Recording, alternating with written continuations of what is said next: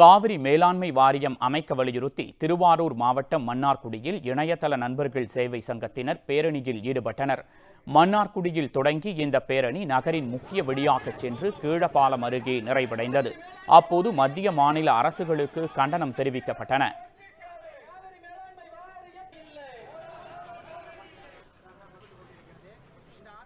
இதனைத் தொடர்ந்து காவிரி மேலாண்மை வாரியம் அமைக்க வேண்டும். ஸ்டெர்லைட் ஆலையை மூடக்கோரியும் இளைய தலைமுறை சமூக விழிப்புணர்வு அமைப்பின் சார்பில் கண்டன ஆர்ப்பாட்டம் கரூரில் நடைபெற்றது. இந்த ஆர்ப்பாட்டத்தில் பல்வேறு அரசியல் இயக்கங்கள் கலந்து கொண்டு மத்திய மாநில அரசுகளை கண்டித்து முழக்கமிட்டன. முக்கிய நிகழ்வுகளை அறிந்து கொள்ள காவிரி நியூஸ் யூடியூப் சேனலை சப்ஸ்கிரைப் செய்யுங்கள். உடனுக்குடன் செய்திகளை தெரிந்து கொள்ள காவிரி நியூஸ் சமூக வலைதளங்களோடு எப்போதும் இணைந்திருங்கள்.